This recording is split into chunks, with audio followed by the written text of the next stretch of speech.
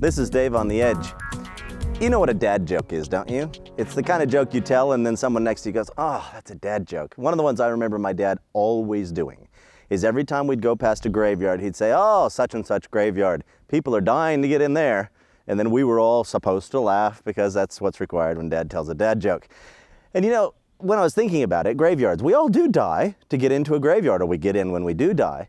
But I don't think the question should be where are you dying to get in life, but where are you living to get in life? You know, rather than thinking about pie in the sky by and by, who are you today? Who are you leading towards? Where are you taking people when you're walking your journey? There's a text in the Bible that says the wages of sin is death, but it doesn't stop there. It says, but the gift of God is eternal life. So what are you doing with that gift?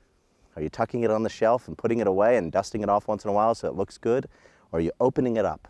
You know, when we open a gift, we can use it. I'd invite you today to open the gift that God has given you.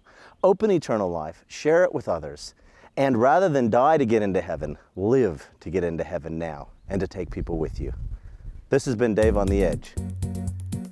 Where do you stand?